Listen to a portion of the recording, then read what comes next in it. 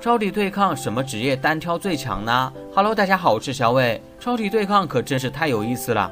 那么如果喜欢单挑钢枪，应该选什么职业呢？今天来聊聊单挑钢枪最强的三个职业。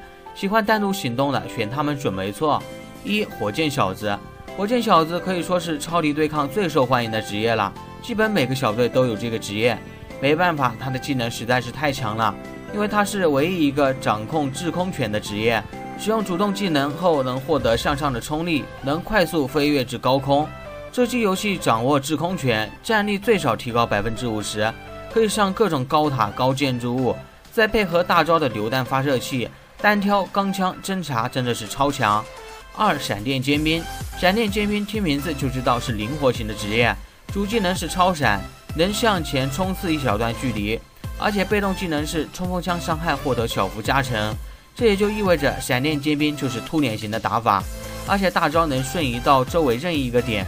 这三个技能都是为了突脸打近战而生的，单挑突击绝对是非常强。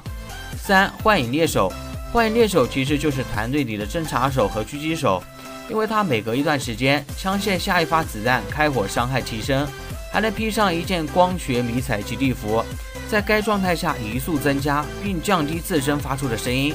大招是标记范围内敌人的位置，远程单挑绝对是无敌的。小伙伴们，你们还想了解哪些内容呢？好了，我们下期见。